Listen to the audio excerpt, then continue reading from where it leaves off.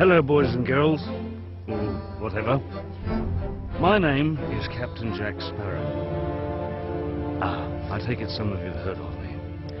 As you may well know, there are times, almost constantly in fact, where I prefer to look at the world through the bottom of a glass.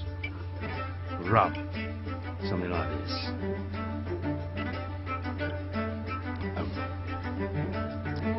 You may have also heard whisperings and rumours that Jack Sparrow be recruiting a crew to undertake a voyage to the Fountain of Youth. Not true. Of course not. But even if it weren't not true, you wouldn't be interested in joining me, would you? Eh?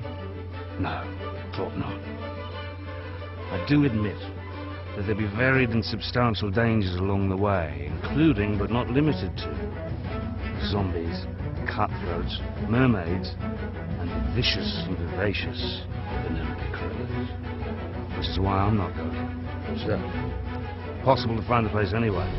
No one knows where it is. Plus, I'd have to have a bloody map. Or a bloody Mary. Or both. Which is not a bad idea, in fact, Bloody Mary.